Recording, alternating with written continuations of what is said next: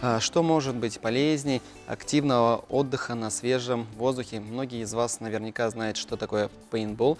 Недавно работники национальной вещательной компании НВК «Саха» приняли участие в ежегодном Кубке СМИ по пейнтболу. Наша коллега Евгения Андросова на себе испытала искусственную войнушку. Давайте посмотрим. Кубке средств массовой информации по спортивному пейнтболу принимали участие четыре команды. Якутское Саха информационное агентство, газета «Спорт Якутии» и национальная вещательная компания «Саха» представила две команды – «Аэр Студио» и «НВК».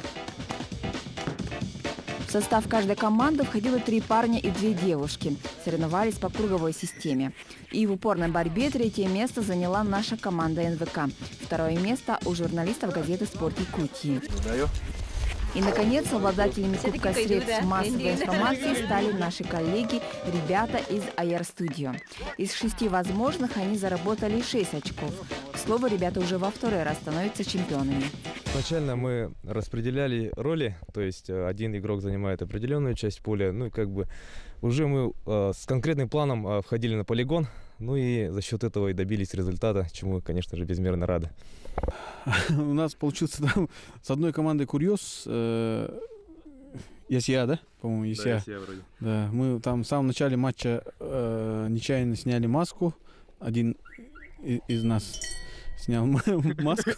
За это наш, нас оштрафовали, удалили двоих игроков.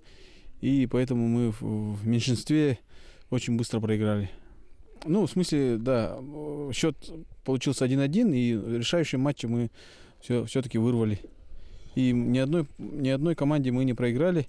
Ну, в этом году было легче, потому что ну, мы как бы э, в сфере своей работы, да, мы снимаем вот эти мероприятия спортивные, и пейнтбол несколько раз снимали, ну, профессиональный пейнтбол, да, и примерно уже знали, как надо играть. э, Кроме того, Радомир Томский – прошлогодний обладатель звания «Лучший игрок».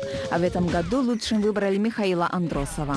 Парни надеются, что в следующем году лучшим игроком станет Власий. Э, Не надо стреляться вот в упор человека, видишь, на зеркальной стороне, да, да. Надо э, стараться стрелять, ну, стрелять э, диагонально.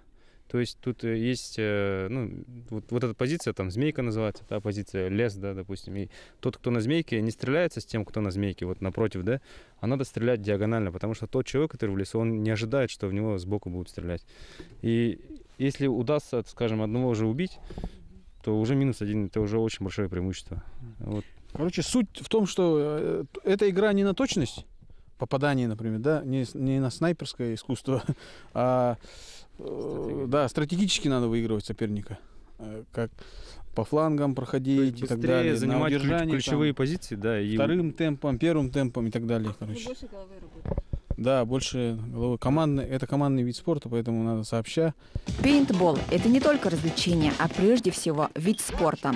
Подобные состязания объединяют коллектив, вырабатывают адреналин и, конечно, придают уверенность.